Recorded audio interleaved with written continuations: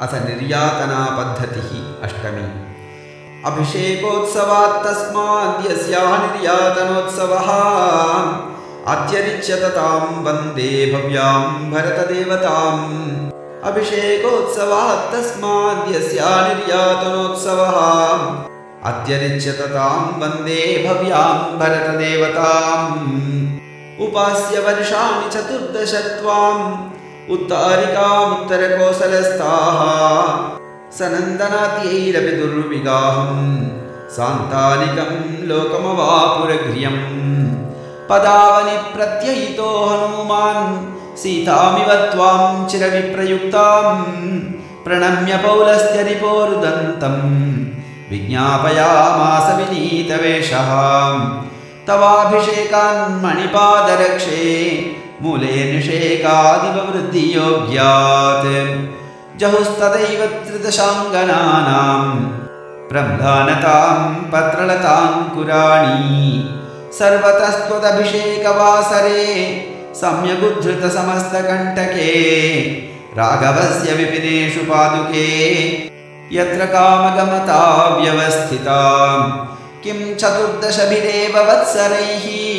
नित्यमेव मणिपादुके युवां पादयोस्त्रिभुवनाधिराज्ययोः। यौवराज्यमधिगच्छतं स्वयम् रामस्य राक्षसवधत्वरितस्य काले पादावनि प्रकटयन्निव पार्ष्णिगुप्तिम्।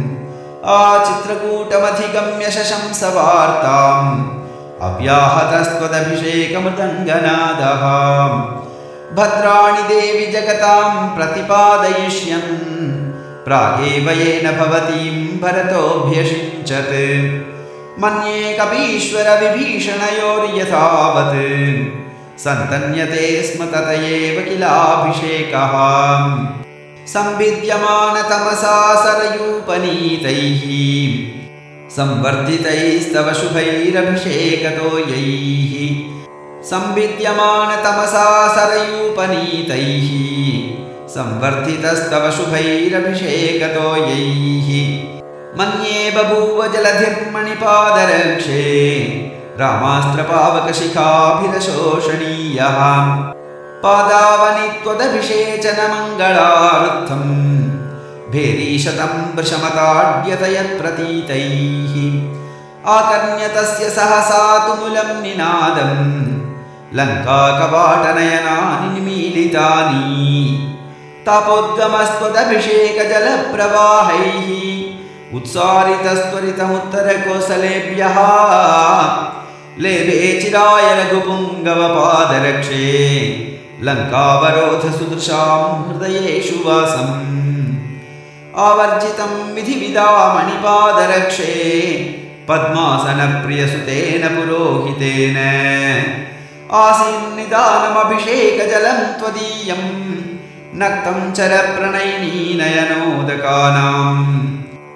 देवि त्वया स्नपनसम्पदि संश्रितायाम् दग्धे पुरे दशमुखस्य वलीमुखेन।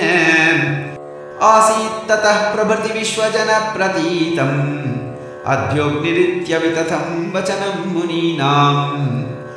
अयोध्यकैस्त्वदभिषेकसमिद्धहर्षैः आत्मा पिता श्रुतिसुखं ननु ते तदानीम्।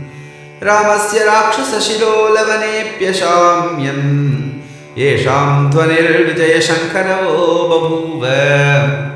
प्रथयितुमभिषेकं पादुके तावकीनम् दुरितशमनदक्षे दुन्दुभौ ताड्यमाने सपदि परिगृहीतं साध्वसं देवि नूनम् दशवदनवधूनां दक्षिणैर्नेत्रकोशैः रघुपतिपदरक्षे रत्नपीठे यदा त्वाम् अखिलभुवनमान्यामभ्यषिञ्चद्वसिष्ठः दशमुखमहिषीभिर्देवि बाष्पायिताभिः स्तनयुगमभिषेक्तुं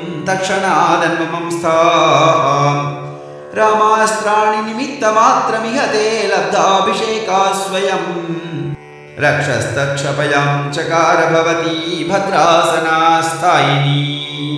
यद्दोष्णामतिवेलदर्पदवथुज्ज्वालोष्मलानां तदा। निष्पिष्टैः कलधौतशैलशिखरे कर्पूरचूर्णायितम् श्रुत्वैवं हनुमन्मुखाद्रघुपतेः प्रत्यागतिं तत्क्षणात्। आसीदद्भरतानुवर्तनवशादारूढकुम्भस्थलाम्।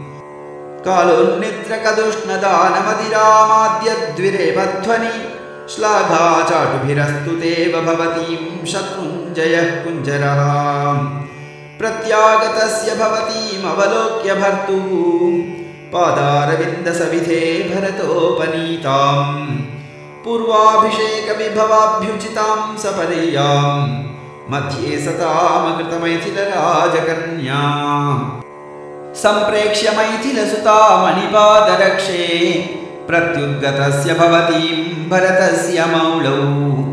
निर्दिश्य सा निभृतमञ्जलिना पुरस्तात् तारादिकाः प्रियसखीरशिषत्प्रणन्तुम् तुल्येऽपि देवि रघुवीरपदाश्रयत्वे पूर्वाभिषेकमधिगम्य गरीयसी त्वं तेनैव कल्वभजतां मणिपादरक्षे रक्षः प्लवङ्गमपती भवतीं स्वमूर्ध्ना निर्वृत्तराक्षसचमू मृगया विहारो रङ्गेश्वरस्य खलु राघववंशगोप्ता वंशक्रमादुपनतं पदमादधानो मान्यं पुनस्त्वयि पदं निदधे स्वकीयम्। तत्तादृशोश्चरणयोः प्रणिपत्य भर्तुः। पौरास्त्वया विधृतयोः प्रतिपन्नसत्त्वाः। प्राप्ताभिषेकविभवामपि पादुके त्वाम्। आनन्दबाष्पसलिलैः पुनरभ्यषिञ्चन्। मातस्त्वयैव समये विषमेऽपि सम्यक् राजन्वतीं वसुमतीमवलोक्य रामः।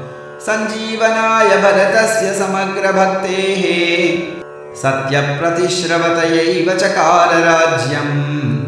पादावनिप्रतिगतस्य पुरीमयोध्यां पौलस्यान्तुरभिषेकजलार्द्रमूर्तेः। अंसेयसार्हमधिवास्य निजैर्यशोभिः। कस्तूरिकेव निहिता सुता